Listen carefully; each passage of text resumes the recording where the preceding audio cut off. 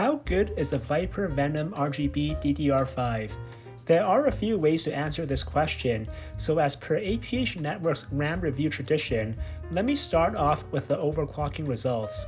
As you can see in our screenshot, I was able to take the Patriot Viper Venom RGB 2x16GB from DDR5 6200 to DDR5 6400 Prime 95 stable at stock voltage and latencies.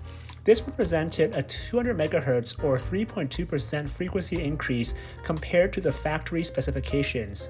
The overclock is basically insignificant, but do keep in mind DDR5 6200 is already the fastest DDR5 specification at press time. Loosening up the timings did not increase overclocking potentials, and the voltage was left at 1.35 volts since we were already at the maximum safe limit. Other than that, the Patriot Viper Venom RGB DDR5 6200 delivered good performance according to our benchmarks. It was not significantly faster than the Kingston Fury Beast DDR5 5200 2x16GB in our test other than synthetic memory benchmarks, but this was to be expected given the way RAM works. On the memory hardware itself, Patriot continues the tradition of unique looking medium profile heat spreaders that should fit under all modern aftermarket CPU heatsinks with the Viper Venom RGB.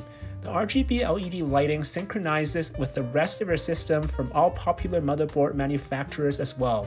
You will also get lifetime warranty should anything go wrong. For about $360 at press time, the Patriot Viper Venom RGB DDR5 6200 2x16GB is competitively priced against kits with similar features and specifications.